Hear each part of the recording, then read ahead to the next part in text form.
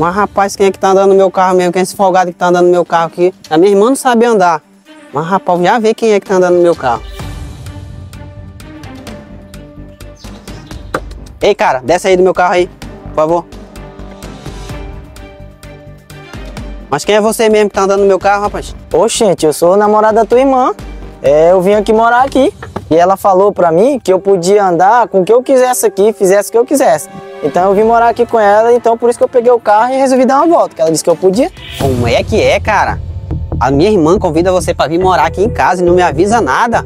Carol, vem aqui, eu quero conversar com você. O que foi, meu irmão? O que foi que aconteceu?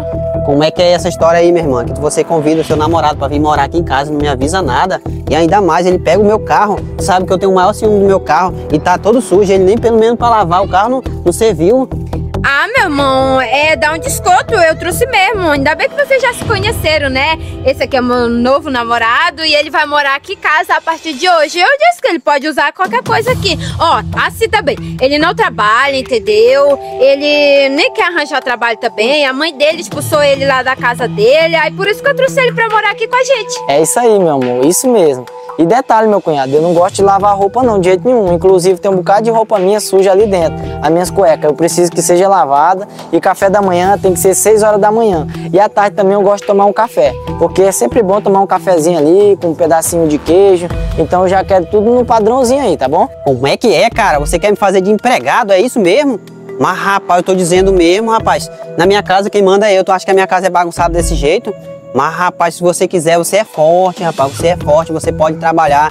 Pega minha irmã, aluga uma casa, vai trabalhar, rapaz. Na minha casa não é bagunçado assim, não. Já basta minha irmã que eu tenho que sustentar. Agora, mais você vai trabalhar, cria vergonha, meu amigo. Trabalhar? Não, não, meu amigo. Eu não gosto de trabalhar, não. Eu vim pra cá porque a Carol disse que eu não precisava trabalhar. Eu desde pequeno nunca trabalhei e agora eu vou ter que trabalhar? Não, negativo. Eu já vim pra cá porque eu ia ter uma vida boa, ia ter o teu carro aqui pra me andar, ia ter as coisas ali pra comer. E agora eu vou trabalhar? Não, negativo. Não quero de jeito nenhum. E detalhe, ela falou também que você trabalha em dois empregos.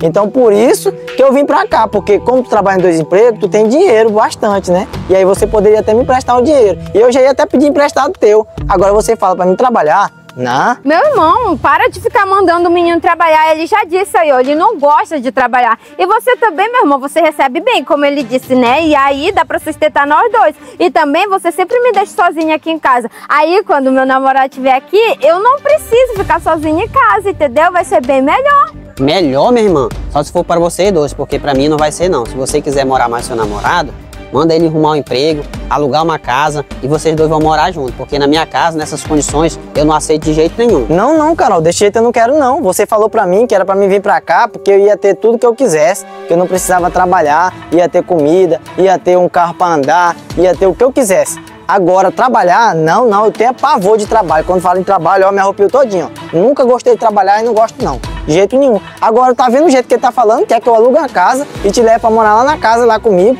entendeu? Quem é que vai trabalhar? Porque eu não vou, então não vai dar certo não. Eu acho melhor a gente terminar aqui e eu ir embora, porque eu não quero de jeito nenhum trabalhar. Não, sai fora, procura outra pessoa que queira trabalhar, um cara aí que queira alugar uma casa pra cuidar de você, porque eu não vou não, não, não quero de jeito nenhum. E eu tô indo embora, já fiquei com raiva, só de tanto falar em trabalho aqui, né?